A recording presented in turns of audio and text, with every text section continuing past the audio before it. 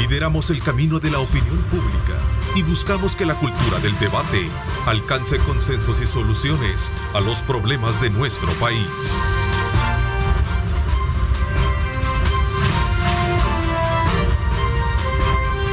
Diálogo con Ernesto López. ¿Qué tal? Buenos días, El Salvador, ¿cómo están? Qué placer enorme saludarles a ustedes como siempre. Gracias por estar con nuestra sintonía desde muy tempranas horas de la mañana en la que estamos desde luego observando detenidamente lo que es estos sistemas atmosféricos que están predominando sobre la región centroamericana y que están impactando en sectores muy particulares en nuestro territorio. Ahí podemos apreciar, vamos a pedir a nuestro equipo de producción nos coloquen estas imágenes de estos sistemas que sin duda alguna representan una, eh, digamos, sistemas de atención que ha llevado, por cierto, ya las autoridades salvadoreñas a decretar alertas, eh, especialmente en algunos sectores plenamente identificados. Así es que vamos a estarle dando el seguimiento oportuno, sobre todo por las condiciones de digamos, de consecuencia que esto puede traer. Siempre he dicho que todos aquellos que se desplacen por las carreteras tengan cuidado por el deslizamiento que representa eh, desplazarse a alta velocidad sobre ella. Hay que hacerlo con mucha precaución.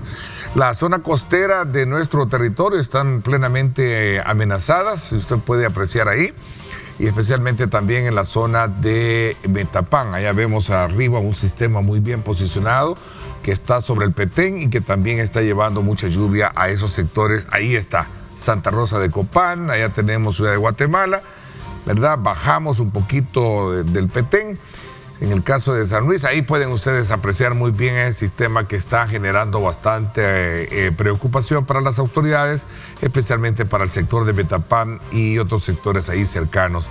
En el sector de Acajutla vemos también una constante de lluvia bastante frecuente, al igual que en otros sectores del oriente de la capital. En fin, así están las cosas. Pónganle mucha atención, ¿verdad? Y sobre todo también mucha precaución. Este día, martes 14 de junio, eh, me acompañan dirigentes de la Unidad Sindical Salvadoreña. Voy a darle la más cordial bienvenida a Jaime Ábalos. Bienvenido, gracias por acompañarnos, Jaime. Muchísimas gracias, Ernesto, por esta invitación. Y bueno, aquí estamos realmente para tratar siempre temas de país y de impacto a la clase trabajadora. Así es, en efecto. Quiero saludar a don Freddy Vázquez, también dirigente de la misma unidad sindical. Gracias por acompañarnos. Muchas gracias, Ernesto, eh, por la invitación Espero que la entrevista sea del agrado de los televidentes. Bueno, vamos a, aprovechar al máximo conocer desde la perspectiva de ustedes aspectos que sin duda alguna tienen que ver mucho con eh, la ratificación de los convenios con el Organismo Internacional de Trabajo, las expectativas que tiene un sector importante laboral sobre el tema de las reformas a pensiones o una nueva ley de pensiones. Vamos a hablar de muchos aspectos que tienen que ver en el marco quizás y aprovechando que no lo hice tal vez directamente con ustedes, eh, el balance de los tres años de gestión del presidente Nayib Bukele. Me gustaría de alguna manera tomar ese punto de partida para poder comprender de dónde venimos, qué hubo y qué es lo que tenemos ahora. A ver, veamos un poco. Bueno, realmente como clase trabajadora venimos dándole un seguimiento al gobierno del presidente Nayib Bukele, donde durante estos tres años de gestión ha dado signos importantes de cara a la población salvadoreña. Primero, en el tema del manejo de la pandemia, ha sido un manejo de pandemia excelente y exitoso. Bueno, de hecho, hoy somos ejemplo en el mundo de cara al manejo de esta pandemia. Pero el manejo de la pandemia no solo se trató en materia de salud. Cuando la oposición pedía hacer instalar carpas como que fuera circo, el presidente decidió hacer un hospital, el Hospital El Salvador.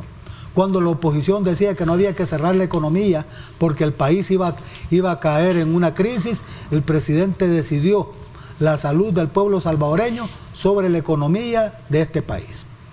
Además, empezó a impulsar medidas económicas que permitieron al ciudadano durante el cierre de la economía del país mantenerse un tanto estable. Primero, generar un programa muy exitoso, como es el programa de emergencia sanitaria conocido como PES. Se genera también al mismo tiempo lo que son bonos para los mismos trabajadores de primera línea, algo que jamás habíamos visto como clase trabajadora.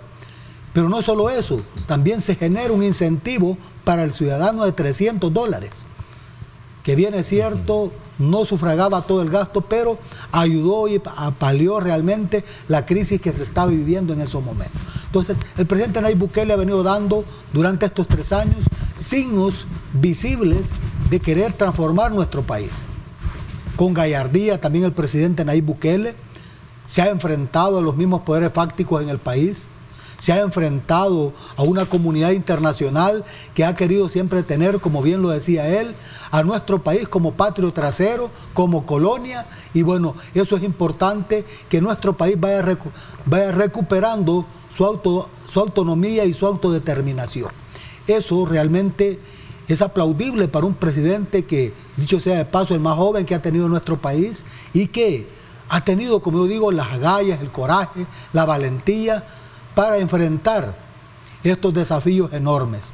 Cuando este país necesitaba un presidente que empezara a luchar y, mejorarlo, sus condiciones lo ha hecho. Y eso nosotros como clase trabajadora se lo reconocemos y lo señalamos así puntualmente. Yo lo decía, presidente Nayib Bukele se ha ganado un 10 en esta gestión durante estos tres años.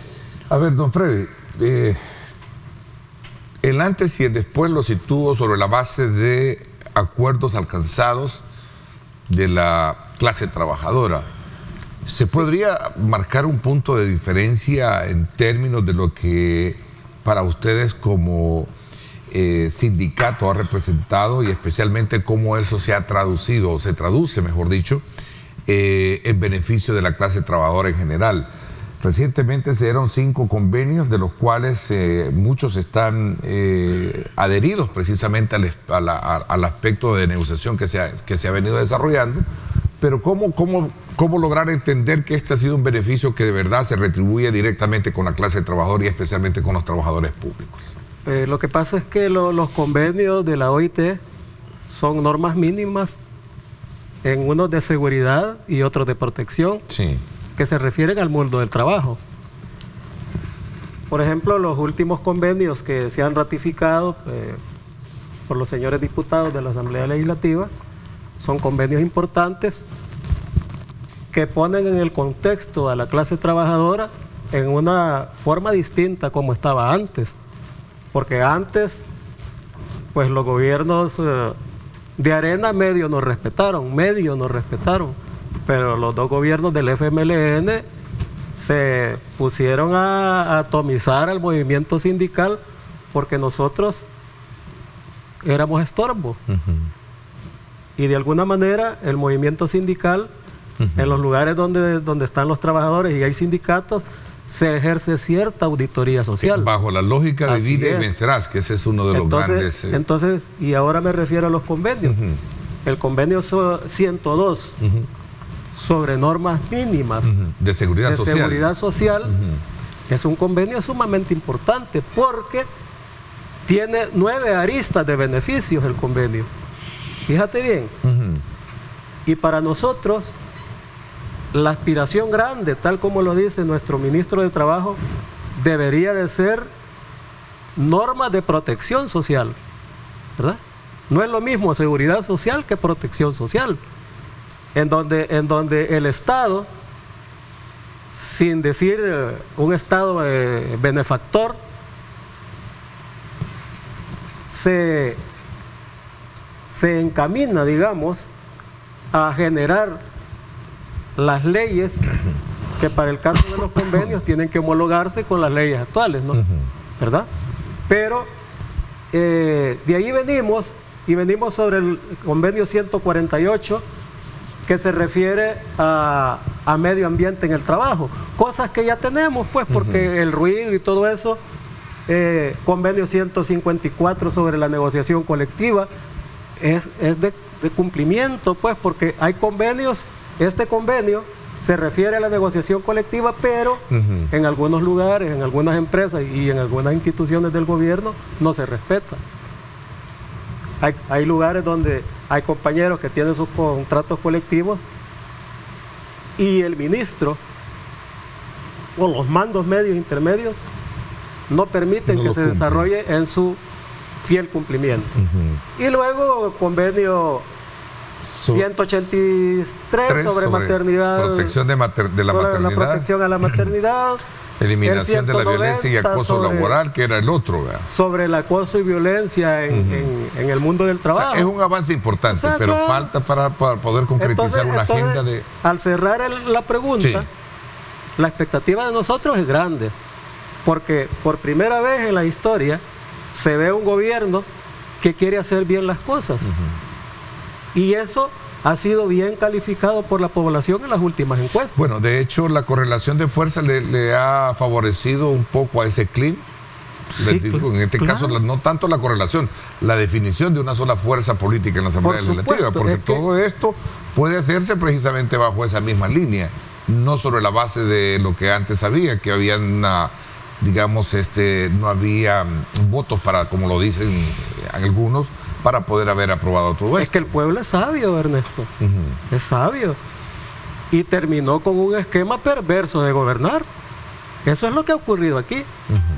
Y entonces el siguiente paso es precisamente ir acomodando todas estas cosas a las necesidades de la población y del trabajador. Ok, interesante. Vamos a ver. Aquí hay un elemento, Jaime, que me parece que ha sido, digamos, como la preocupación a la cual muchos sectores como los que ustedes representan y muchos sectores también de trabajadores como este servidor y cualquier otro salvadoreño promedio eh, activo laboralmente hablando, le ha preocupado es el tema de las pensiones, que creo que ese es un, digamos, como la piedra angular, sigue el menosprecio que puede tener una agenda también este, reivindicativa de ustedes como sectores. Bueno, claro, realmente el tema de pensiones es fundamental para la clase trabajadora. En su momento, el 7 de octubre del año recién pasado, yo le decía al presidente Nayib Bukele que le iba a definir el tema de pensiones de una, una sola frase. Yo le decía, las AFP deben morir para que los pensionados puedan vivir. ¿Por qué digo esto? Porque realmente el sistema actual de pensiones es un sistema fracasado totalmente, demostrado a nivel mundial y a nivel de todos los países que lo implementaron, que lo han venido incluso ya derogando, desapareciendo el, sistema SAP, sistema de ahorro para pensiones. Entonces, ¿qué es lo que sucede? Nosotros como clase trabajadora sí nos preocupa un tanto eh, el hecho de que aún no se dé una reforma de pensiones, porque la reforma de pensiones te genera un impacto tremendo en la vida laboral del país. Muestra de ello es que este sistema actual de pensiones que tenemos está generando un retardo en, el relevo generacional en materia laboral. ¿Por qué? Bueno, la gente no se quiere ir con una pensión de 207, de 304 dólares. Y muchos que tienen pensiones incluso de 100 dólares. ¿Y por qué digo esto? Porque realmente el sistema actual no ha funcionado. Y no ha funcionado y que cuando estábamos en el sistema de reparto, por ejemplo, pagábamos solamente el 4%. Hoy estamos pagando el 15% y los beneficios son totalmente negativos. No hay beneficios para la clase trabajadora. Ese sistema no permite ni incentiva a nadie a quererse retirar, porque como clase trabajadora no vemos el actual sistema de pensiones o las pensiones actuales como un reconocimiento a la labor del trabajador, no, lo vemos como un castigo. Yo le he dicho, han condenado a través de esa ley SAP a la clase trabajadora que cuando se pensione se va a la mendicidad. Nosotros, al presidente Nayib Bukele, le hemos pedido como cuatro cosas importantes. Primero, elevar al 70% la cantidad de dinero a recibir del trabajador como pensión. Número dos, hemos pedido al presidente Nayib Bukele en materia de pensiones que el éxito del sistema va a radicar en su cobertura. Número tres, le hemos dicho al, presidente Nayib Bukele en nuestro posicionamiento que como clase trabajadora pedimos que el sistema se vuelva solidario y universal. ¿Qué quiere decir esto? Bueno, que todos tengan acceso, porque aquí está mi compañero Freddy Vázquez, que no me dejará mentir, del sector de la construcción, de 10 trabajadores de la construcción. Si se logra pensionar uno, es bastante pero no se logran pensionar dos trabajadores del sector construcción de 10. Entonces, ¿qué, este, ¿qué significa? Que la cobertura y el sistema no sirve. ¿Por qué? Porque no hay estabilidad laboral en el sector y eso perjudica. Entonces, este proyecto de, de pensiones debe ir acompañado por un pacto nacional por el empleo, donde la estabilidad laboral en toda la estructura de nuestro país sea algo fundamental y vital, porque no se puede garantizar que alguien se pensiona si lo están despidiendo a cada rato, si le violentan su estabilidad laboral. Entonces, nosotros creemos que es importante que ese pacto también nacional por el empleo se ejecute. Lo hemos hablado con el ministro Rolando Castro, le hemos dicho que como clase trabajadora queremos que se haga un estudio de impacto incluso laboral. La tendencia del mundo laboral en nuestro país ya cambió Hoy ya existe el teletrabajo, existe un montón de formas diferentes de trabajo. Entonces, ¿qué implica? Bueno, implica que también la matriz laboral jurídica debe de cambiar para poder cambiar esto. Esto implica una reforma al Código de Trabajo, significa reformar una serie de instrumentos legales. Ok, veamos un poquito. Hubo una reunión en octubre, en diciembre y hubo compromisos, entiendo, con el sector sindical. ¿Cuál es el estatus del avance de las negociaciones, del documento? Que se supone estaría siendo presentado eh, días atrás a la Asamblea Legislativa. Y, otro elemento importante que yo siempre le, lo he preguntado y lo he consultado a quienes cuando hemos estado haciendo el análisis respectivo es el modelo. Si es que vamos a hacer una reforma de la ley, a derogar la ley, hacer una nueva ley y qué tipo de y, qué, y cuál va a ser el modelo. Eh, un modelo eh, nacional, cuando se habla de un modelo que va a ser eh, un modelo nacional, muchos tienen su temor de que sea eh, precisamente fácilmente manoseado, ¿verdad?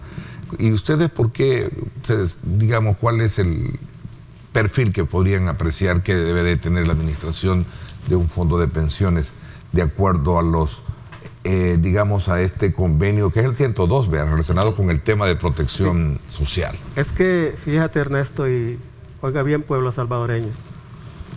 Nosotros venimos del 98 de un sistema público de reparto. Sí. ¿Verdad? Y en la reforma del 98 se nos vendió, se nos vendió de que en Chile había funcionado muy bien el nuevo sistema de pensiones de cuenta individual. ¿Sí? Si ustedes recuerdan, y esa fue la panacea que se regó a nivel continental. Pero resulta que al día de ahora, a este día, solo República y eh, Dominicana y México mantienen ese sistema. Porque nosotros, en la reforma de, del 2017 se terminó ese sistema porque se creó una cuenta de garantía solidaria. Y, esa, y eso supone que un tercio de, de las aportaciones van a esa cuenta que deben de servir para mantener y pagar a los pensionados actuales. Pero, pero la verdad es que eh, ese sistema, las bases para, las cuales fue fundado, nunca funcionaron, porque el sistema debería de, tenía como varios elementos. Uno, es que la cuenta individual era una cuenta donde si las AFP iban a hacer negocios rentables.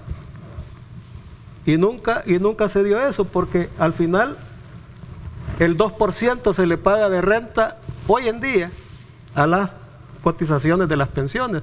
Entonces con eso nunca se va a poder llegar, digamos, a tener una pensión digna y justa. Entonces por eso nosotros queremos que el sistema regrese a, su sistema anterior, un sistema público de reparto en donde todo el dinero entra a esa cuenta, pero ya tiene condiciones. regresar al sistema anterior. Así es, tiene condiciones. Que lo administra el gobierno. No solo el administro, lo administraba el gobierno como tal, pero había también representación ligera, entiendo, ¿o no? No, no, no, realmente no pero había. Aquí es donde, esa es la parte a la que yo quería llegar. Pero sí ya no debe de ser solo el gobierno. debe de es que las AFP, esa modificación es la que ustedes Es la modificación. Las AFP se convirtieron nada más es un agente de recolección de los recursos, porque al final quien utiliza el dinero de nuestros ahorros es el Estado. Casi 100%.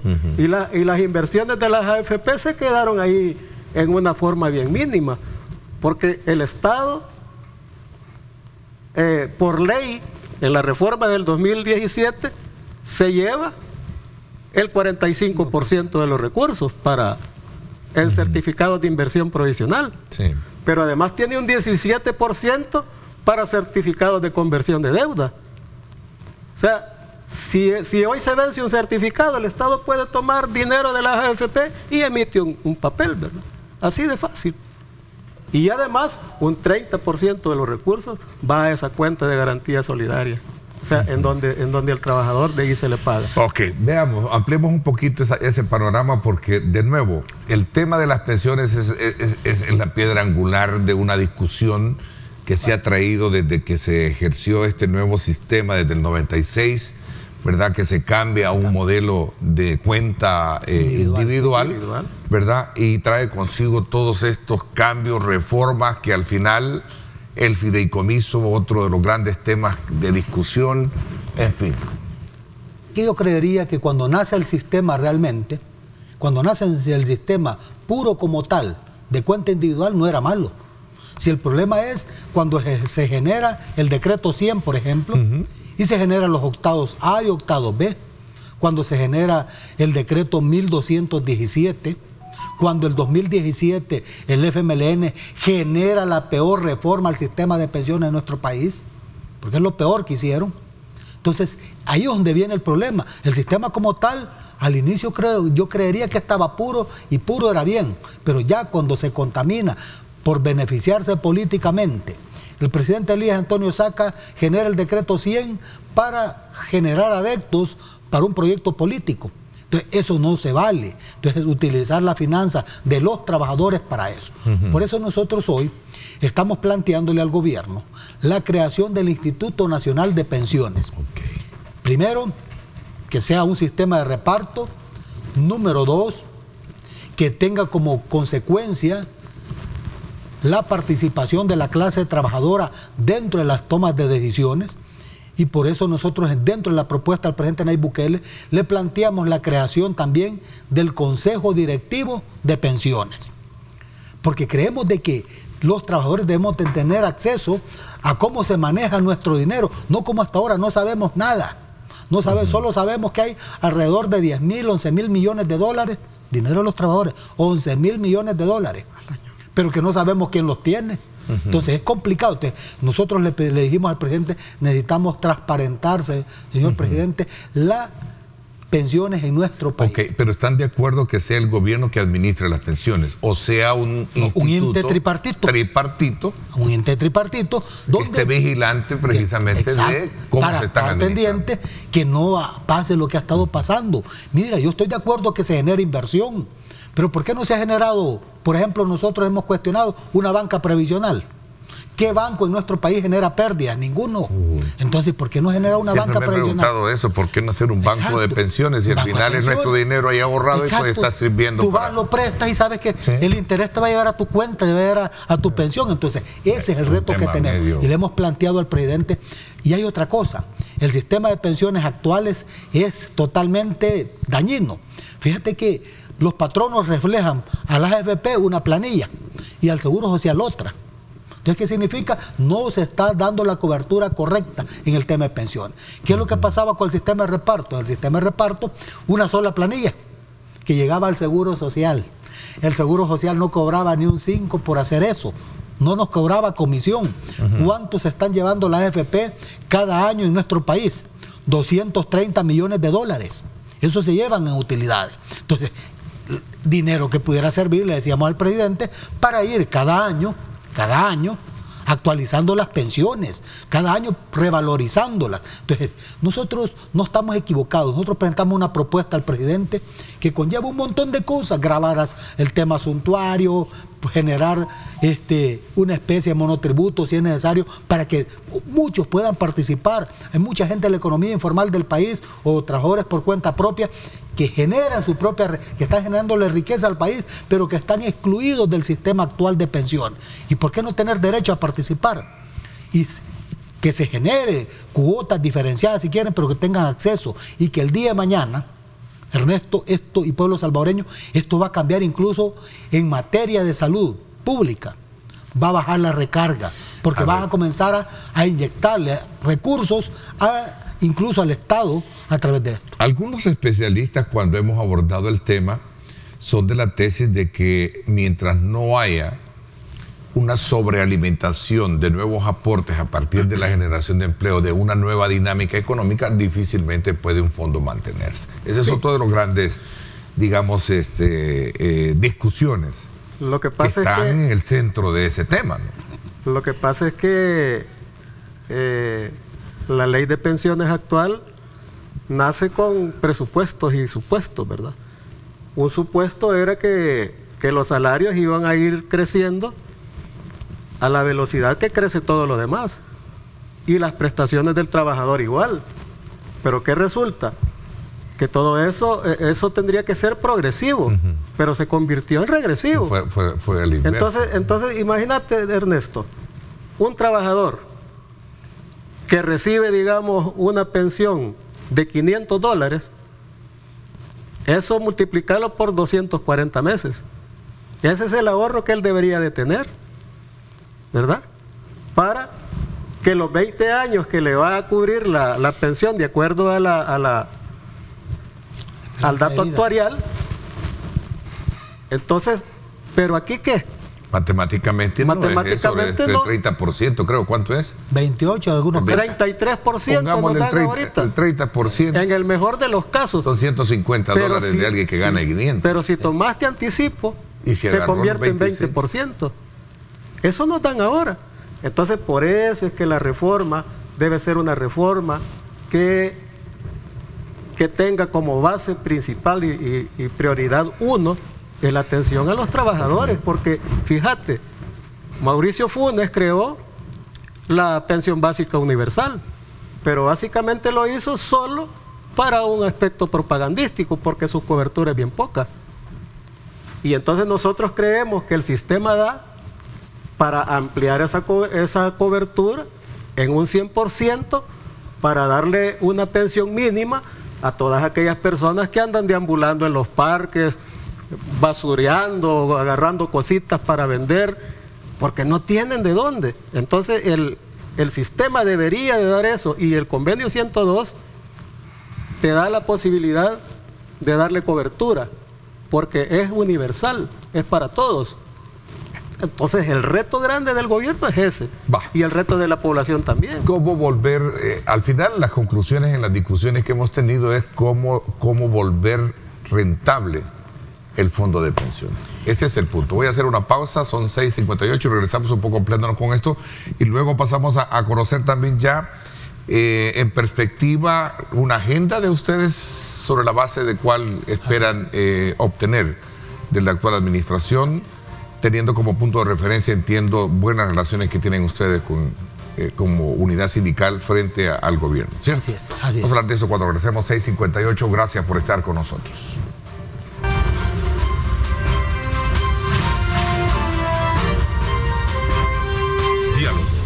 Ernesto López. Bien, gracias nuevamente por estar con nosotros. Vamos a, un poco ir saldando este tema que sin duda alguna representa una parte importante dentro de la clase trabajadora, sobre todo cuando se trata de indagar el nuevo modelo de la cual se ha comprometido el actual gobierno para poder eh, desarrollar en el tema de pensiones.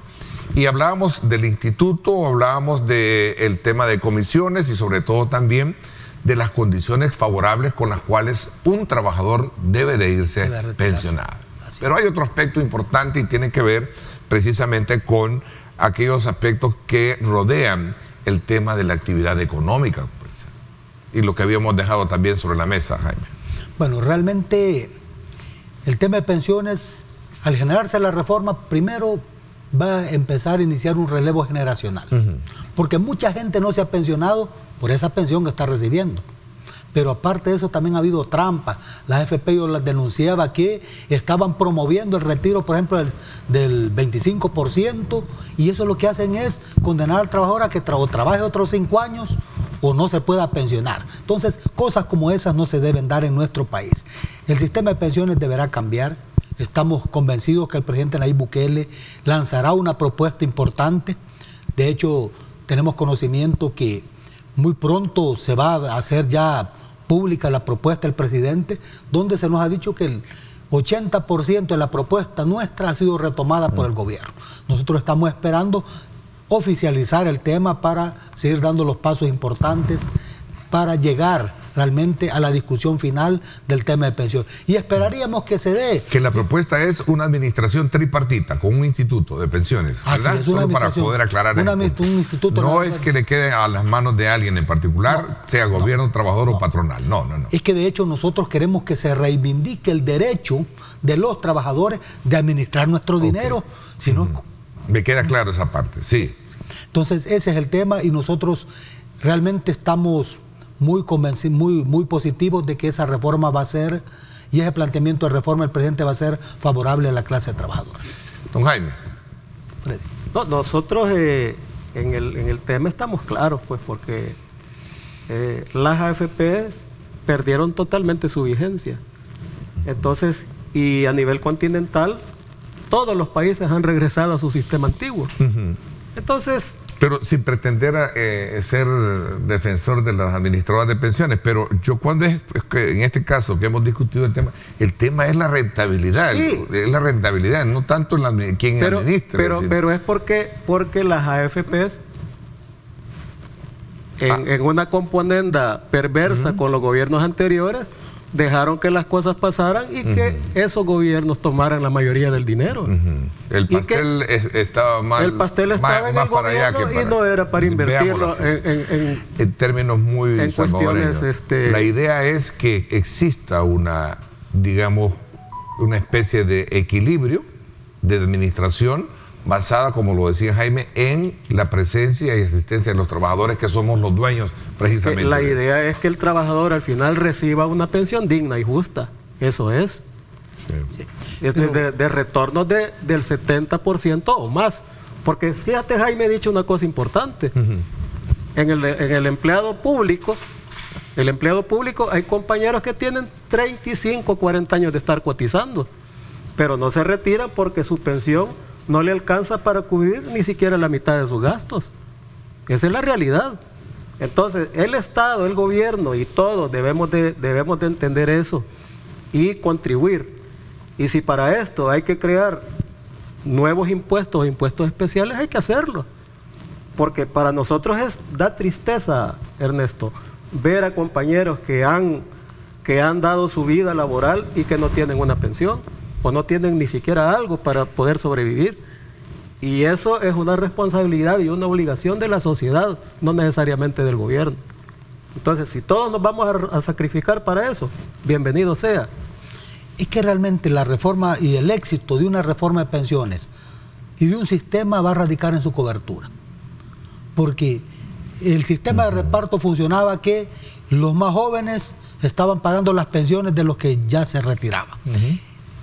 Pero ser solidario. una cobertura, imagínate, tenemos una, un total de una población económicamente activa, pero una cobertura actual de alrededor del 18% de la PEA, de la población económicamente activa. Entonces, ¿qué significa? No hay mayor, no, no hay nada.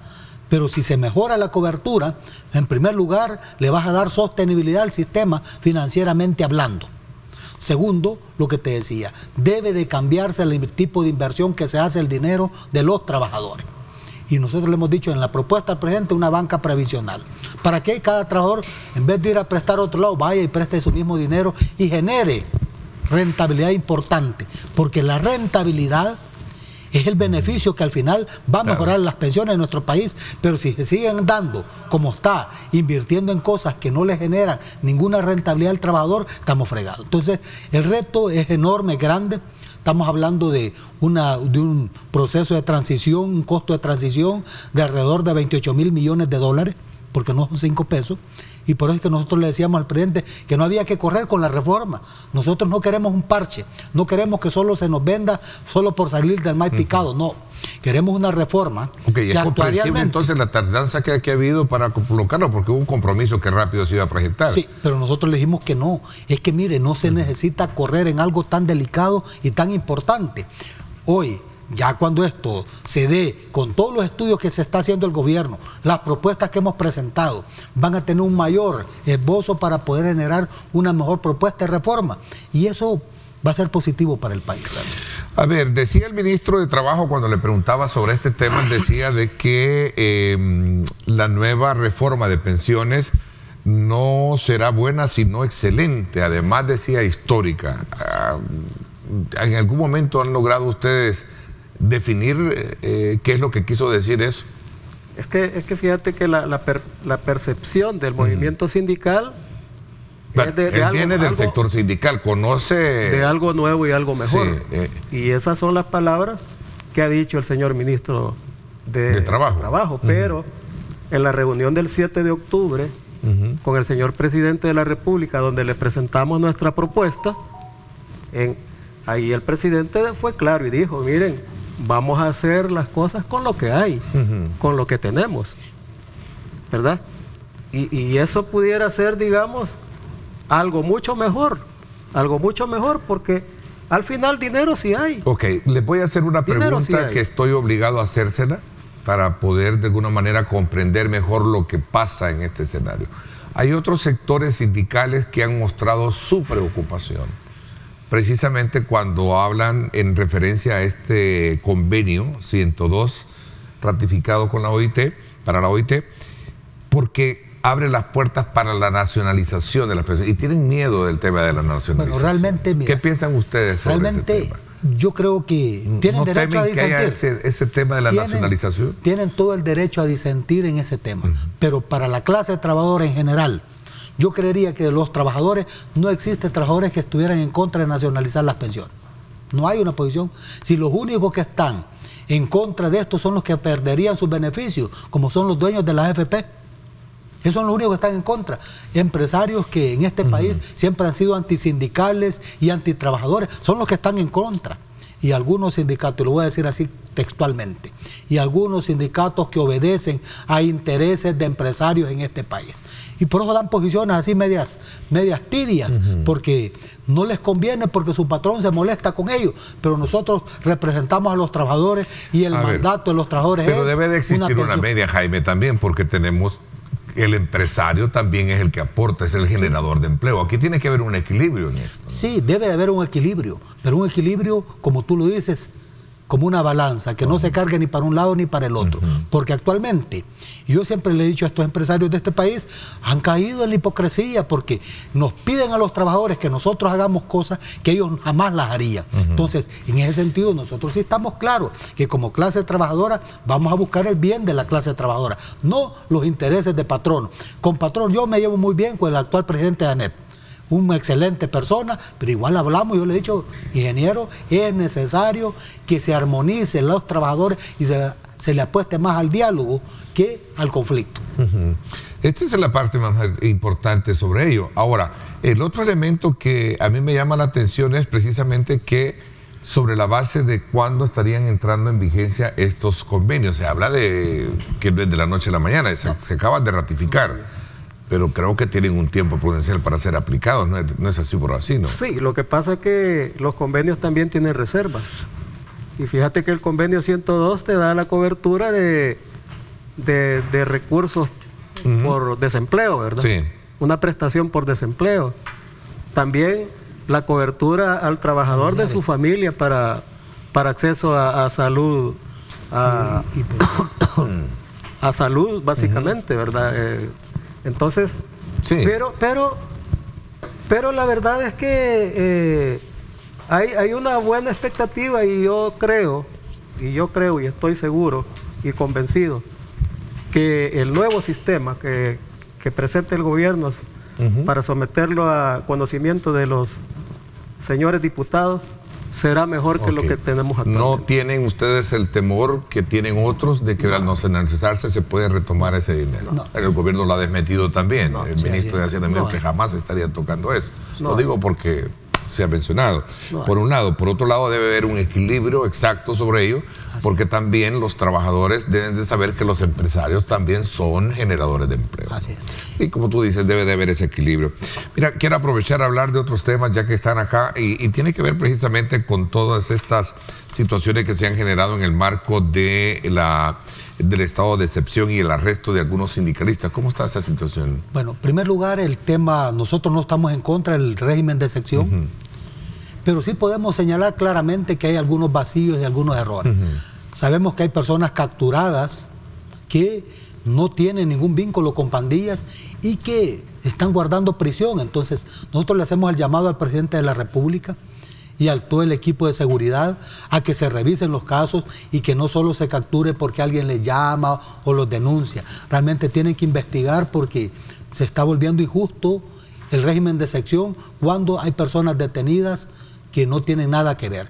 Muestra de ello fue, por ejemplo, algunos casos como el compañero Melquisede Castillo, que fue detenido de manera arbitraria. Sin embargo, pues el presidente Nayib Bukele, yo creo que el gobierno llegaron a la conclusión al final de que no tenía nada que ver y fue liberado y gracias al presidente y, al equipo de seguridad, pero sí vamos a insistir que debe de tratarse realmente con, más, con una lupa más fuerte el tema y que no se caiga en la injusticia con gente que no tiene nada que ver. A ver, aquí me hacen una pregunta para ustedes. Eh, que tiene que ver con el tema de pensiones, que es el que más acapara la atención, porque es un tema que obviamente a todos nos, y me dicen acá, ¿ellos han sido consultados por el gobierno para trabajar la propuesta? Pregunta.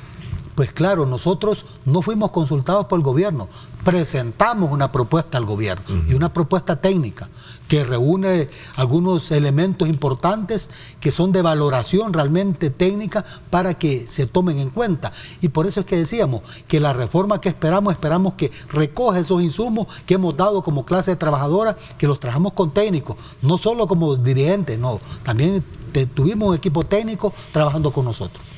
A ver, eh, otra pregunta acá. ¿Ustedes han hablado de reelección, de apoyar la reelección del presidente? Sí, hemos hablado de apoyar la reelección del presidente. Eh, pero esto depende básicamente de él, ¿verdad? Es de él, una decisión de él. Y, y, si tú ves las encuestas, pues las encuestas, la mayoría de la población califica bien el trabajo del señor presidente y además da la posibilidad de que la gente le dé los votos en una, en una posible postulación a, un nuevo ejercicio presidencial. Ok, otra pregunta que me parece interesante. Em, ¿Cómo ustedes están observando el actual costo de vida que está representando la inflación producto de los problemas en el, en el mundo? ¿Y cómo están planteándose la idea de poder mejorar el tema de salarios, sabiendo de que la situación aprieta a todos?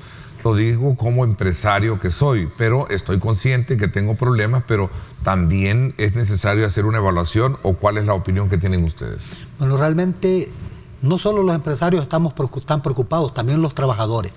Porque como tú lo has dicho, mire, hay muchos empresarios buenos en este país, empresarios que le apuestan a dinamizar la economía.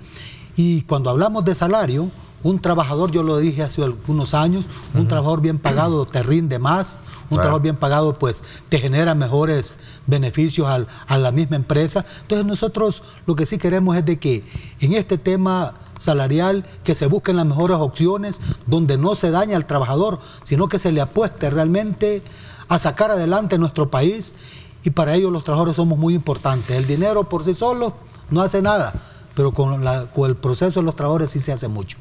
Bueno, el tiempo, el tiempo se me agotó, eh, quizás un poco en expectativa de qué es lo que esperan eh, dentro de lo que es la, plataforma reivindicativa. ¿Qué aspectos son los que rodean, eh, digamos, para cerrar el ciclo de conversaciones que hemos tenido con ustedes ahora, don Freddy? Es que hay temas, hay temas que todavía están pendientes. Por ejemplo.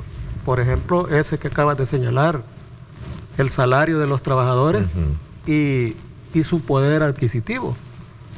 O sea, un trabajador aquí, para mantener a su familia promedio de, dos hijos y su esposa, necesita un mínimo de 750, 800 dólares. Ese es un tema que hay que verlo.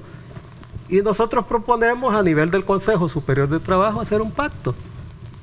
Un pacto que permita agarrar en el tiempo, digamos, la recuperación permanente de esos salarios para que el trabajador en el tiempo vaya recuperando poder adquisitivo, porque el problema de nosotros es que la dolarización devaluó los salarios, así de claro, y sirvió para, para favorecer al sector exportador, pero los salarios quedaron devaluados, entonces, y además de devaluados, con una visión muy, pero muy eh, ambigua de los gobiernos de no querer, digamos, crear condiciones para que el salario del trabajador se fuera recuperando de acuerdo al costo de vida.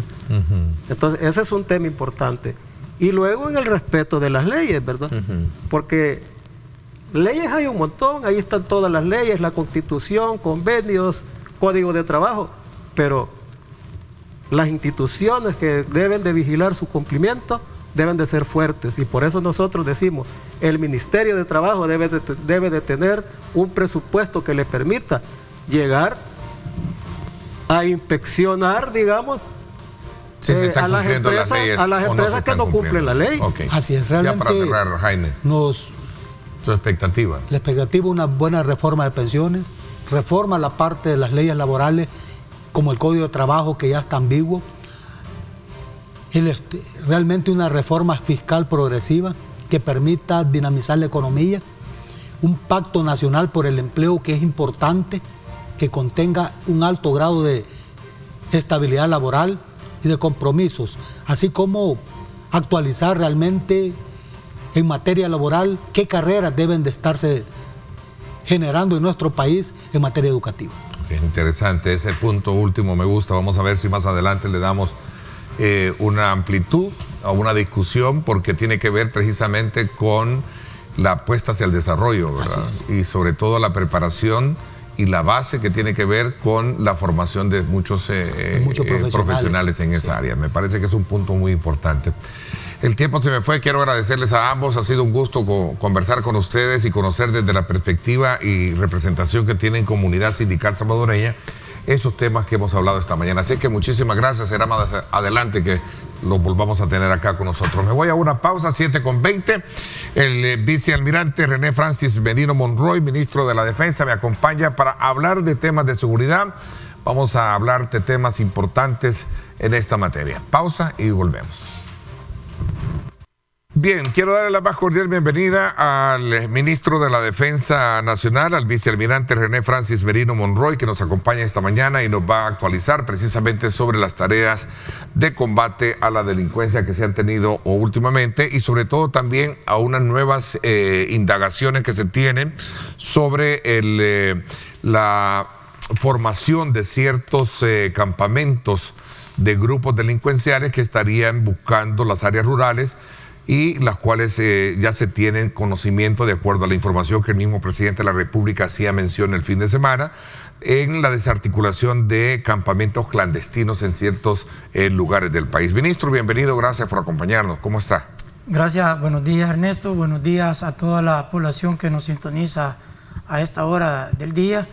Nuevamente acá para poder compartir con todos ustedes las acciones que hace la Fuerza Armada en diferentes áreas, pero en este caso específicamente en apoyo a la seguridad pública. Ok, comencemos primero porque ha despertado mucha curiosidad, eh, mucha preocupación para algunos sectores el hecho de que a raíz del golpe fuerte que se le está dando a Lampa en el sector urbano, estos están teniendo desplazamiento hasta las áreas rurales.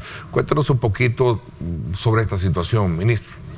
lo que ha sucedido es que a partir de que se puso en ejecución el decreto 333, que habla sobre el régimen de excepción, comenzamos junto con Policía Nacional Civil y el apoyo de la Fiscalía General de la República a sacar de, los lugares de mayor persistencia a los terroristas de las pandillas. Y el, resultado positivo de, de, ese trabajo que se está realizando hizo que muchos de ellos migraran hacia el área rural, aunque ya tenían eh, persistencia en el área rural, pero eh, eh, abandonaron prácticamente el área urbana, se fueron a esos lugares, han ocultado armamento de, grueso calibre y desde ese lugar han estado tratando de mantener vivas a, las pandillas y haciendo diferentes acciones. Como el señor presidente de la República lo, dijo el fin de semana, ya nosotros veníamos analizando el comportamiento de la Mara y pandillas, más lo que manifiestan algunos eh, políticos, algunas personas de, oposición, en la cual han dejado de manifiesto cuál es el comportamiento que van a tener las pandillas. Entonces, nosotros nos, nos damos cuenta porque están teniendo un comportamiento en el área rural similar al que tuvo las guerrillas. Y el, fin de semana hubo el desmantelamiento de un campamento en, el caserío de Iscacal, en San Isidro Cabañas, en el cual fue eh, un enfrentamiento exactamente como los que se tuvieron con la... Durante la, guerra. Veamos, estas son las imágenes. Creo que tiene audio esto, productor, me confirma para poderlo oír. Ahí está. Acá 47. Acá 47. Me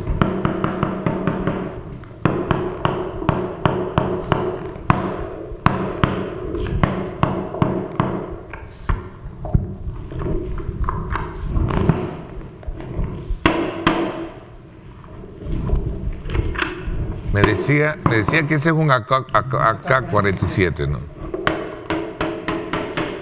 Le están respondiendo a la Fuerza Armada, porque ustedes usan ellos recibieron Con fuego. Ellos recibieron con fuego a la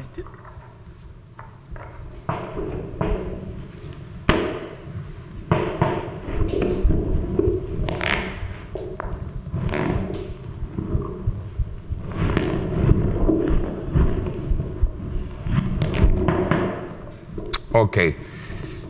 Este es solo un, digamos, un ejemplo de lo que cómo puede eh, generarse a partir del desmantelamiento de estos eh, lugares, de estos campamentos, que son típicos de lo que se tenía en la época de la guerra civil. Sí, y, fíjese que en ese, ese campamento estaba, habían 12 más pequeños en ese mismo, y este, con trincheras. O sea, hay, unas, hay unas fotografías que después cuando se hizo el reconocimiento y el recuento de todo, eh, usted puede observar ahí las trincheras, las trincheras, las típicas trincheras de, la guerrilla. De esas hay, varias en ese campamento y estaban totalmente eh, aparapetados.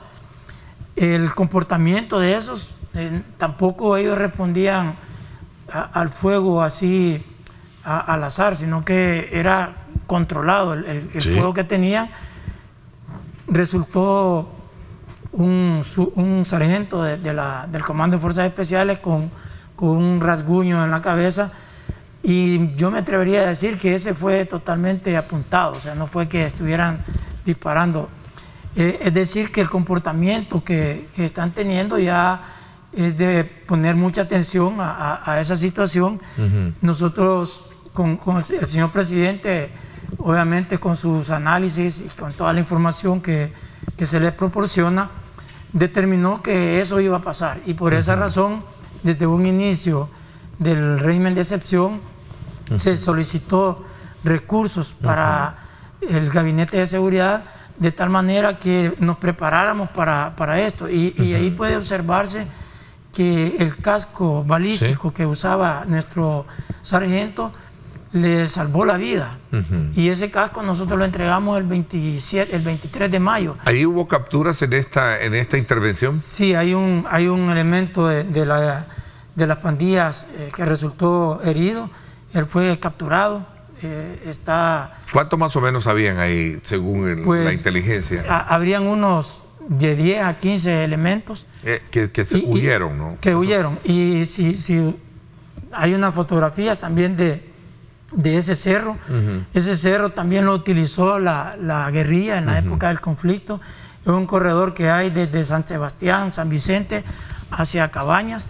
Es un corredor logístico de ellos que lo estaba utilizando las pandillas. Y la configuración del terreno les permite a ellos, al estar eh, en ese lugar, tener un panorama de todo lo que está hacia abajo. O sea, eso, eso nosotros en, táctica militar se le llama el, eh, tener el dominio del terreno. Y por esa razón es que estaban ellos esperando que nosotros llegáramos y les permitió al final, después de un enfrentamiento bastante prolongado, que ellos fueran escapándose del, lugar. Hubo decomisos, vi ahí una cantidad bastante de cartuchos. Sí, eh, bueno, había, hay munición. Y armas también. Hay, munición para M16, 5.56, para K-47, 7.62, para escopetas, para 22, eh, drogas. Ustedes pueden observar en ese lugar, también tienen eh, chalecos, portacargadores cargadores, cantidades eh, bastante considerables de cargadores, radios de comunicación. Es decir, que hay bastante material de guerra que está en manos de las, de las maras y pandillas. Y para muchas, eh, ahí se puede ver la fotografía del armamento que se decomisó en esa ocasión. Eh, son bastantes armas largas, son 10 armas largas y 4 armas cortas y la munición que ya le describía para diferentes armas. Eh, esto trajo consigo, usted hablaba del equipamiento directo de, que está necesitando la Fuerza Armada. Eh, el régimen de excepción llevamos para tres meses, ¿verdad? Sí, vamos para tres meses, sí. Eh, ha habido casi ya los 40 mil capturados. ¿Cuál es la evaluación que se hace si se ha logrado ya neutralizar, falta más. Eh, quisiera hablar de eso. Y por otro lado también el fin de semana el presidente eh, Nayib Bukele hacía mención o anunció eh, la compra o la llegada al país de los Sandcap, que es un vehículo especial precisamente para desplazarse en zonas rurales. Vamos a hablar de esto cuando regresemos, ministro, para ampliarnos 7.33 minutos. escríbanos, denos sus puntos de vista. Gracias por estar con nosotros.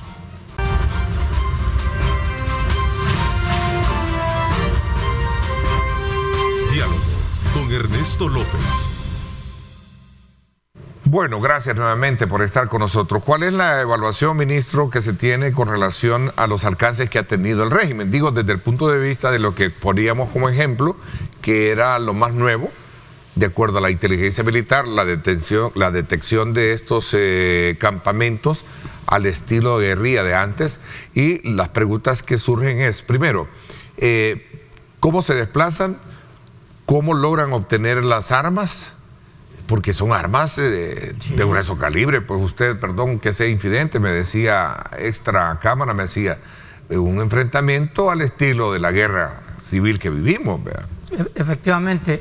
Bien, la, evaluación que nosotros hacemos como, como, gabinete de seguridad es que los resultados que hay hasta este momento han sido muy positivos, contundentes y han generado ya efectos positivos también.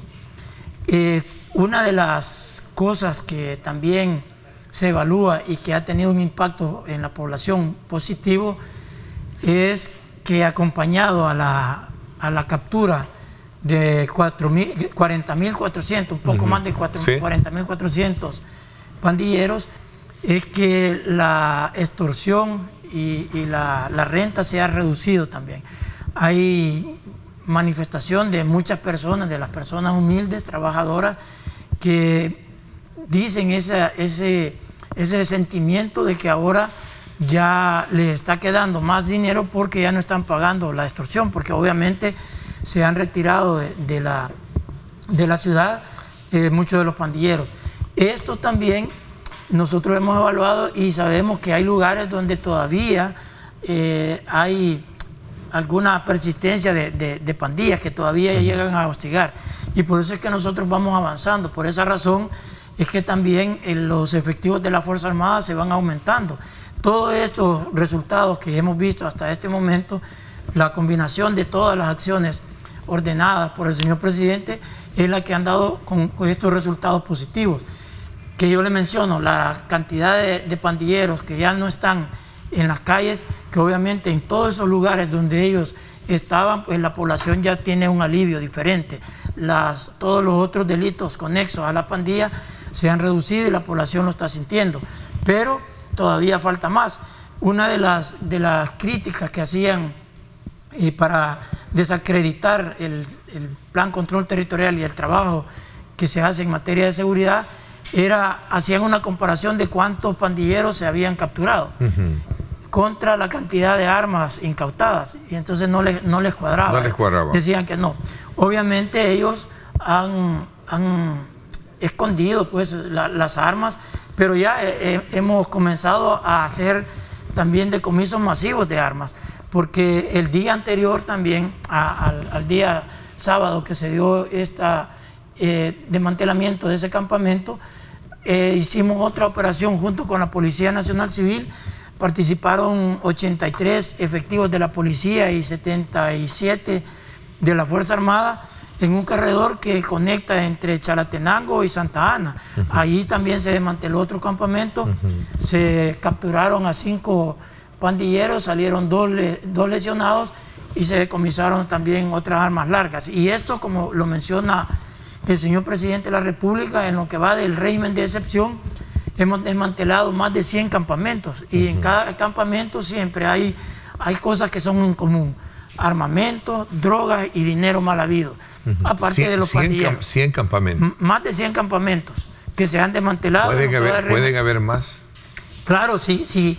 Cuando nos reunimos con los comandantes de las unidades militares eh, para evaluar el trabajo realizado, eh, manifiestan que en el área urbana pues se han escondido y, han, este, disminuido su accionar los pandilleros, aparte que se han sacado de, circulación, pero que sí eh, hay, hay denuncias de la población que eh, se han ido al, campo y andan en quebradas al estilo eh, guerrillas.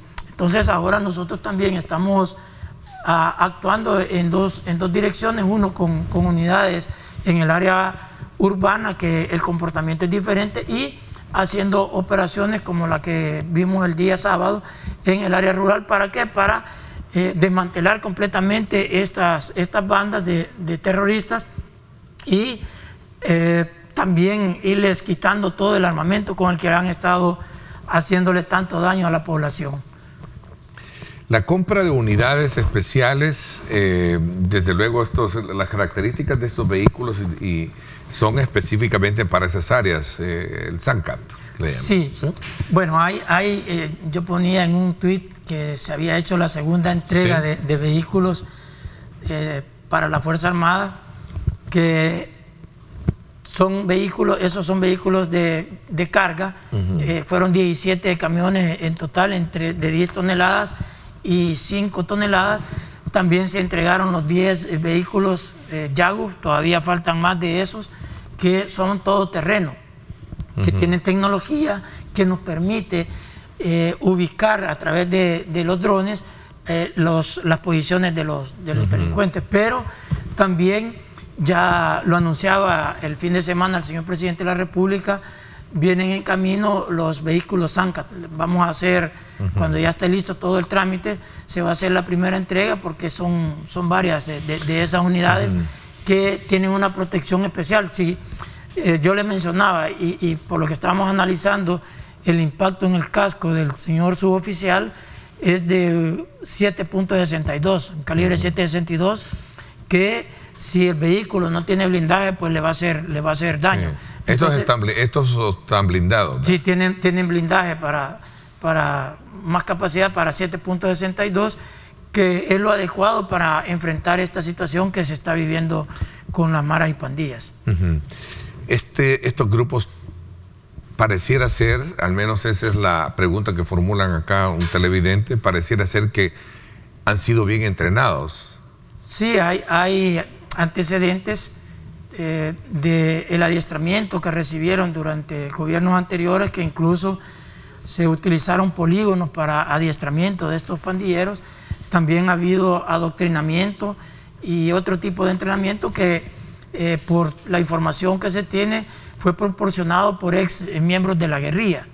Y, ahí lo mencionaba el señor presidente, las pretensiones de los que estuvieron en los gobiernos anteriores, que era mantener eh, estas pandillas de esa, de esa manera para que al final replicar lo que hicieron en el conflicto, venir a, negociar y convertirlo en un partido político y sacar provecho de, esa negociación. Y para eso, obviamente, les tenían que dar fuerza, les tenían que hacerlos sentir que eran poderosos y que no había otra forma de, de, frenarlos, que solamente sentándose a negociar con ellos se podía detener este problema. Pero ya, ya tuvimos la primera experiencia durante el conflicto que terminó el, conflicto como tal entre los bandos armados, pero la situación problemática continuó por 30 años más. Ok, pero eh, se supone que, al menos la noticia que se manejó, es que en gobiernos pasados algunos de ellos habían sido adiestrados en este tipo de polígonos. ¿Son estas personas las que, estos delincuentes que ahora estamos viendo, que tienen ese tipo de preparación? Sí. ¿O es que precisamente también de aquellos que dan baja del ejército que salen entrenados que también se manejó en aquel entonces? Bueno, hay, hay una eh, política de, la institución que de hacer el, clareo de los, de, los de las personas que ingresan de tal manera que no sean delincuentes. Pero estos son pandilleros que han tenido ese adiestramiento, tienen esa, esa capacidad de generar este, este daño, este impacto en la población.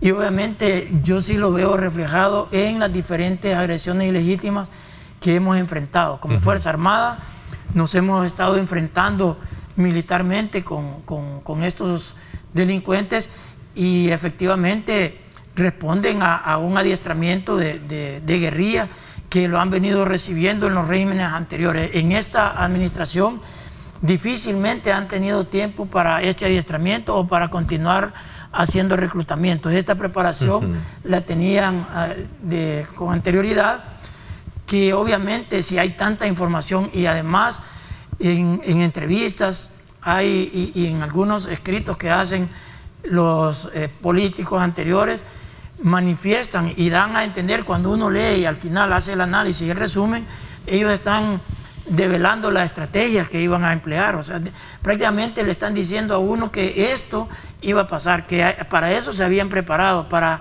generar esas condiciones que les permitieran a ellos convertirse en partido político y luego volver a, insertarse en esos partidos y continuar haciéndole daño a la población. O sea, todo esto es producto precisamente de lo que en el pasado habían ya acordado, quiere decir. Sí, efectivamente, si es que es que eh, está a la vista todo lo que, lo que se ha manifestado, la estrategia que vinieron utilizando durante la tregua, eh, todo ese periodo que se les dio, eh, se les fortaleció, en ese periodo se fortalecieron estas maras y pandillas, se robustecieron y de tal manera que eh, tenían el valor de querer enfrentar a la, autoridad. Bueno, por lo menos con nosotros, con el señor presidente Nayib Bukele, lo, han intentado y les ha ido muy mal porque eh, los resultados son contundentes. Y, a este momento, como lo mencionaba el señor presidente, estamos a punto de, ganar la guerra contra las pandillas. Esto lo que indica es que se les, se les ha quitado la capacidad que tenían inicialmente de enfrentar o decidir cuántas gentes querían matar ellos en, un determinado día. Eso ha disminuido, obviamente todavía existen, bueno, lo estamos viendo que se han ido al campo y esa es la tarea que nosotros tenemos. Es, ya lo hemos manifestado en infinidad de veces, es El Salvador libre de maras y pandillas. Ese es el objetivo o el estado final deseado. Todo el éxito de lo que usted me está hablando pasa precisamente también por conocerse y quiero ver ese otro lado también, qué opinión tiene y qué mecanismos se están utilizando tras eh, la denuncia, la demanda de algunos sectores, Naciones Unidas, por ejemplo, ha expresado su preocupación sobre el tema de las violaciones de derechos humanos que se está dando en el marco del régimen de excepción.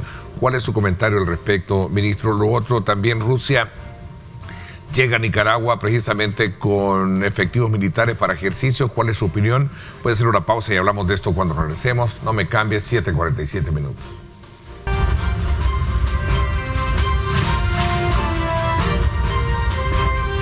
Diálogo con Ernesto López.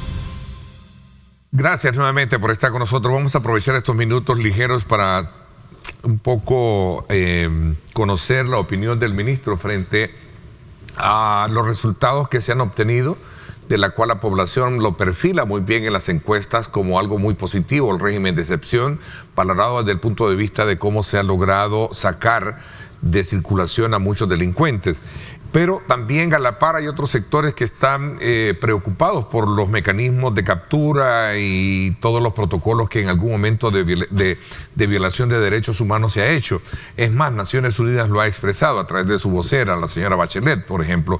¿Qué, opinión o qué respuesta tienen ustedes eh, frente a esta eh, situación, ministro? La señora Michelle Bachelet. Bueno, es, nosotros para, actuar junto con la policía, tenemos protocolos de actuación. Yo le puedo decir que eh, precisamente la semana pasada me reuní con el representante de la Cruz Roja Internacional acá en El Salvador y con el de la Cruz Roja salvadoreña. Y con, esta, con este personaje elaboramos una cartilla de, actuación donde la Cruz Roja Internacional nos, nos, dice, mire, esto es lo que, cómo debe de actuarse respetando derechos humanos. Y eso es lo que nosotros le enseñamos a nuestros soldados. El, bastante de la, de la población que, que, manifiesta eso, de los políticos que manifiestan eso, son la gente que estuvieron durante los 30 años anteriores lidiando con este problema de maras y pandillas y que no pudieron resolver. Y que nosotros a este momento, eh, cuando actuamos, actuamos con suficiente información de, que se tenga de las pandillas, en el caso de Fuerza Armada, si tenemos ya la información, hacemos inteligencia, tenemos la información, ubicamos a las personas, hacemos un chequeo, consultamos los registros de Policía Nacional Civil, las personas están eh, fichadas, se le entregan a la policía, la policía hace otra revisión de, las personas y luego si hay mérito para la detención, la policía hace, decreta la detención.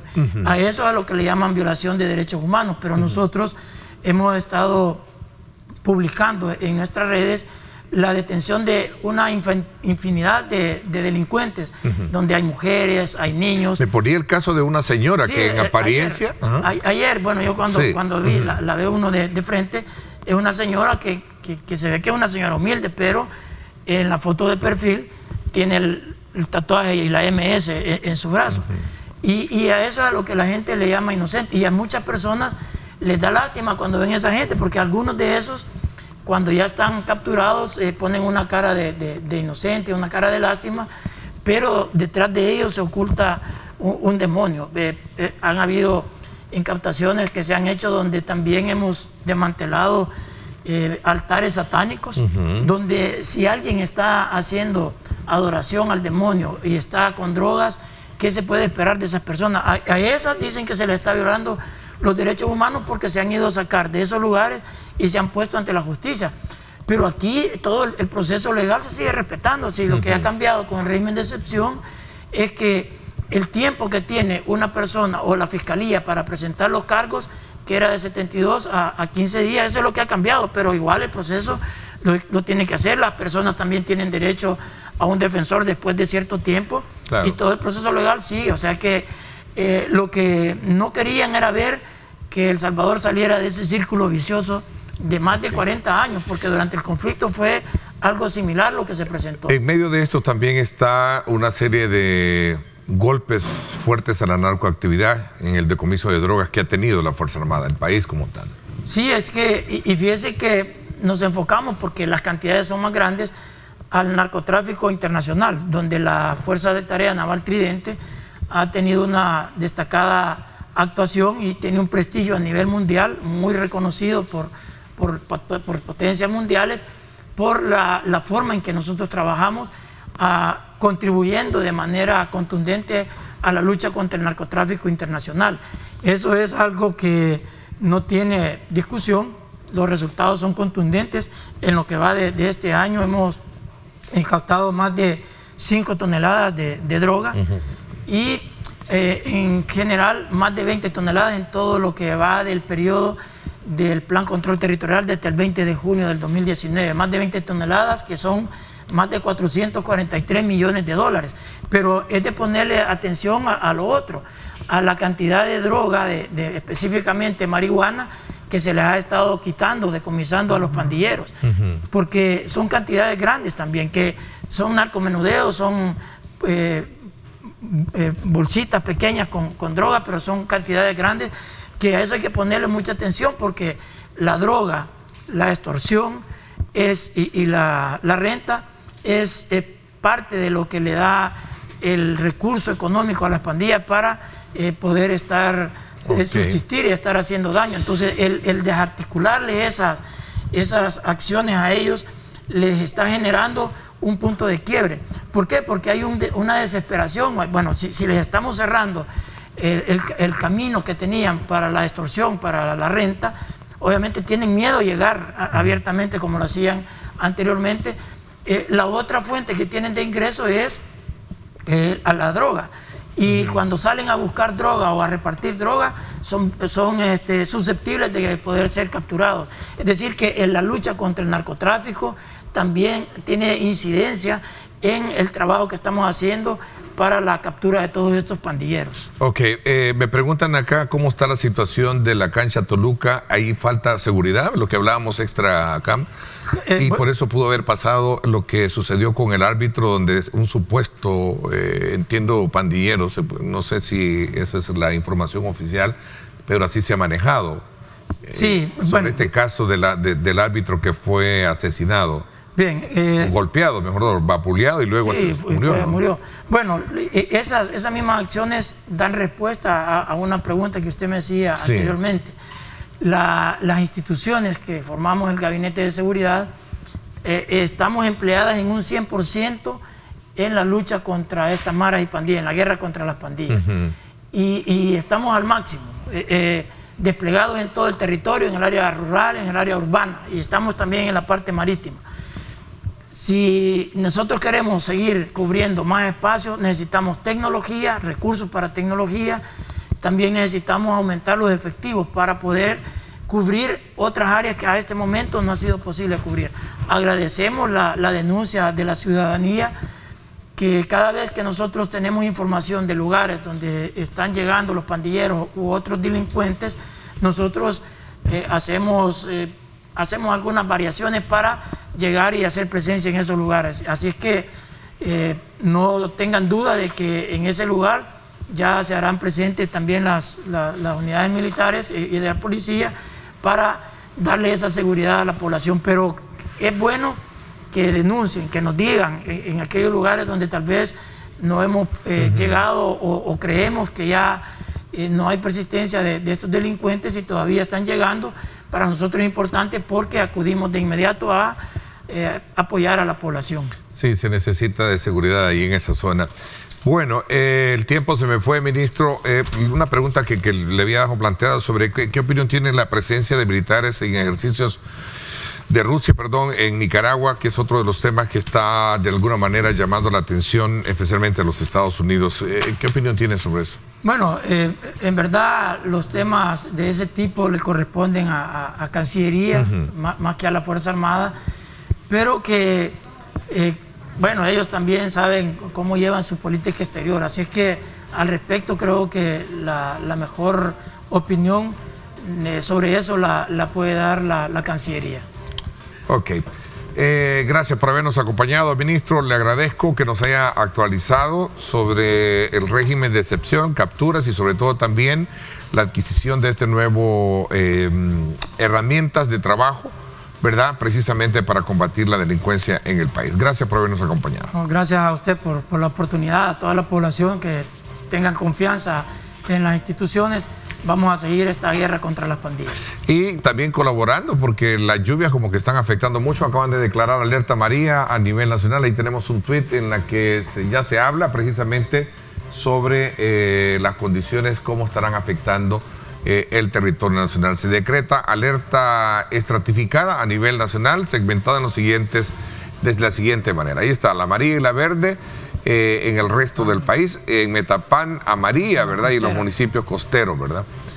Para, y ahí han estado ustedes también dando mucho auxilio. Toda la, toda la noche tuvimos actividades, participamos en nueve lugares removiendo Porque todo el sistema va a ser fuerte de estar afectándolo como lo estamos apreciando en la imagen satelital, ministro. Efectivamente, ahí está la, Fuerza Armada también apoyando eh, a la población en estos casos lamentables, pero pueden observar, eso fue en la, en la intercepción que hay entre la Monseñor Romero y la carretera Los Chorros, que a las como a las 5 de la mañana cayó un árbol y lo despejamos para que la circulación Ahí están presentes también los elementos de la Fuerza Armada. Gracias, ministro. Nuevamente, 8 de la mañana, viene arriba mi gente para que continuar con esa alegría eh, de la mañana. Gracias, pásenla bien y como siempre recuerden lo más importante, amar a Dios sobre todas las cosas.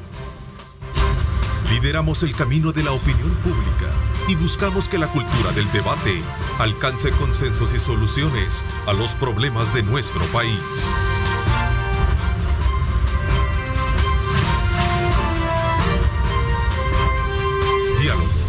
Ernesto López.